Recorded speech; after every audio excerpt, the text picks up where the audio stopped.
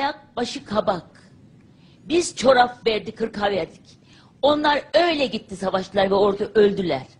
Ben bir Türk olarak bu konuşmalar e, içerisinde sanki başka bir memleketteyim. Güneydoğu olayı fakirlikten dolayı olan bir olay değil ki. Büyük Orta Doğu projesi gereği Amerika'nın böl, parçala, idare et, yok et programı gereği kandırılıp dağa çıkarılan açlıktan, sefillikten falan değil. Ona bakarsan İstanbul'da da fakir çok, aç çok. Çıkarılan, eline silah verilen, bilinçli bir şekilde eğitilen terör başının tahsili yok mu? Siyasal bilgiler mezunu. Dağdaki bütün kadro üniversite mezunu. Ne demek yani eğitimi sizler açın diye oraya çıktılar. Yok böyle bir şey. Onlara böyle bir hakkı kim tanıyor? Benim vatan için asker 14 yaşında asker elbisesi giymiş çocuğumu dağda çıkıp da hiç, hiç uğruna öldürdüler. Ne demek efendim bunları haklı çıkarmak? Ne demek oluyor yani? Bu fakirmiş be. Ne münasebet canım? Daha anlat evet. Ben 32 yaşında dul kaldım. Bir binbaşı han- hanımıydım. Kendimi anlatmak istemiyordum ama madem ki bu kadar acındırmaya götürdüler bu işi, ben de kendimi anlatacağım. Kocam rahmetlik olduğunda 6 bin lira maaş alıyordu. Ben de öğretmenlik yapıyordum. Kocamın maaşını bana 3 ayda 2800 lira olarak bağladılar. Yani ayda 900 lira.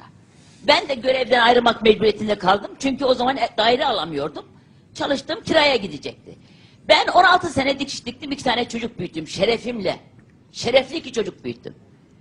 Ve benim o çocuğum asker olduğu gün dağa gönderdiler. Kim için gitti dağa? Açları doyurmaya mı gitti dağa? Aç, aç olan çalışır. Türkiye'de iş çok. Eğer oraya hizmet gitmiyorsa hizmet gitmemesinin sebebi de onlar. Okulların kapanmasının sebebi de onlar. Kendi köylerini katleden de onlar. Bizim çocuğumuzu katleden de vatan hainleri. Vatan hainleri. Ben Kürtleri tenzih ediyorum. Ben Kürtleri tenzih ediyorum.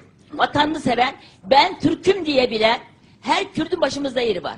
Ama bölücülük yapan, dağa çıkan, silah eline alan, askerine askerine, vatanını koruyan, namusunu koruyan askerine silah çeken hiç kimseye acımıyorum. Ben dahi öldürebilirim. Ne demek acımak efendim? Ne demek? Ne demek askerine silah çeken insan acımak? Ben bu toplumdan ben sanki başka bir memleketten geldim. Biz Türküz. Biz Türküz. Her tarafımız düşman sarılı. Yedi düvel bize düşman. Ve bizi bize düşman edip içten vurmak istiyorlar. Artık bunun bilincinde olun. Bizi birbirimize kırdırmak istiyorlar. Bölüp parçalayıp yok etmek istiyorlar. Benim kuzenlerim Kürt. Benim eniştelerim Kürt. Benim yeğenlerim Kürt. Ne demek? Kürt sorununu, ya Kürtçülük sorununu Kürtlerle ayıralım. Dağa çıkan teröristler vatan hainidir. Amerika'nın maşalarıdır. Amerika'nın uşaklarıdır. Satılmıştırlar ve haindir. Ya biz de savaş istemiyoruz. Ben oğlumu savaşsın diye. Ben oğlumu tamam ki tabii ki 14 yaşında asker e, elbise giyen bir subay ölümü de göze almıştır. Vatanı için, namus için ölecektir de.